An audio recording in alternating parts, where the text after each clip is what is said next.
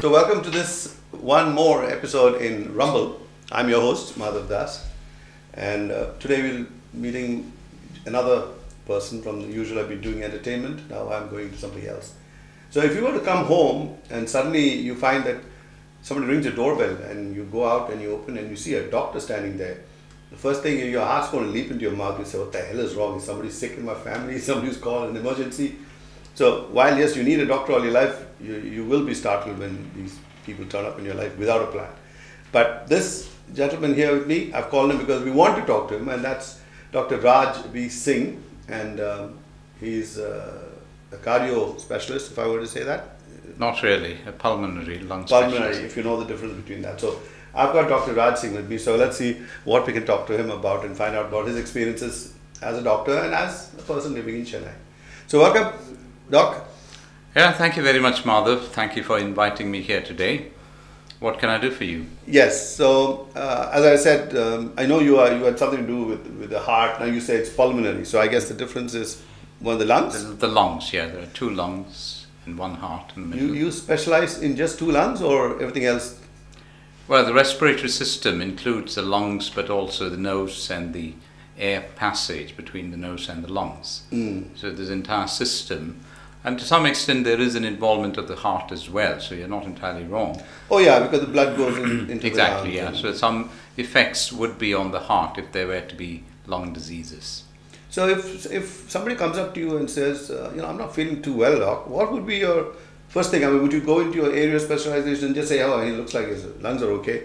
His, uh, so would you be able to spot straight off? Or is that again uh, a GP's job, as you used to call it in the old days? Not really. I think it's difficult to distinguish between GP's work and specialist work in India, particularly. And I would think that if somebody were to come and say, I'm not feeling well, obviously he would have to be a little more specific and tell me what exactly is the symptom. Sometimes people would come out straight away with a diagnosis and say, you know, I have had asthma for 20 years and I don't think it's really under control. Could you help me? You know, then becomes a little simpler. Obviously, we'll still have to confirm the diagnosis, but um, very often people would say, I've had a cough for, you know, 20 days. Persistent, not going away. Exactly, yeah.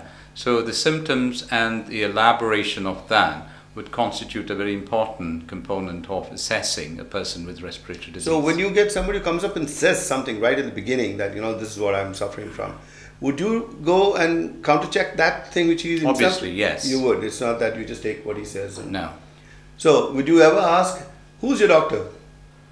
They would have to provide that information. Yes, usually. And uh, would that make a difference to your judgment on uh, what you would treat? Like, like Well, is he a well-known doctor? So Well, if, if he's well known to me and I know his reputation and this thing, and obviously it makes a difference if I were to know the doctor and he's reputed and he's done a good job, and also the, what he has done and everything will be there with the patient in terms of the investigations done and the prescriptions and so on. So um, it does help if he's already been assessed by uh, a colleague of mine. okay. And uh, when when when you recommend somebody, just like somebody recommended uh, a patient to you, you recommend people to others. What would you go by? I mean, is it again? You wouldn't be uh, in a position to judge so many doctors who are available. So, what would be your criteria of uh, of sending somebody somewhere else? Is it his work? Well, first of all, it depends on the kind of uh, disease that you're referring the patient for. Now, if it's just a, let's say, an allergic rhinitis with asthma, which is a very common disease and not particularly difficult to assess and treat, and in that case, I would look at the doctor's proximity to the patient's oh, home. that makes good sense. Yeah. So I think if he were to come from Assam, for instance, there's no point in referring him to a doctor in Mumbai or Delhi or something. So I would look for a patient, uh, for a doctor in Guwahati or uh, or somewhere near where he lived. Um, if it is a um, a major lung surgery, a lung operation, or something which is very unique, uh, then I would look at the best possible person who can do it and suggest that. Is this something that you're taught in, in medical school to, to to consider things like this, or is it just that you picked that up as you went along?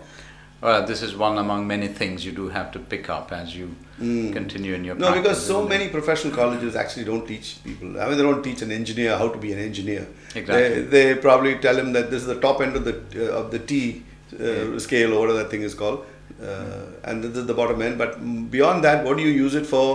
And, and do you ever need it in your real life? I don't know whether they actually tell them or Mhm. how to write a report. You know, those kind of skills are not imparted at all, except in the higher end colleges. In Uh, medical college, how's it? Do they really keep you abreast of the latest when you come out of college? Well, in medical school, medical colleges, I think you are taught the basis of medicine, and if the fundamentals are strong, the, uh, the, the learning of diseases becomes somewhat easier as you progress.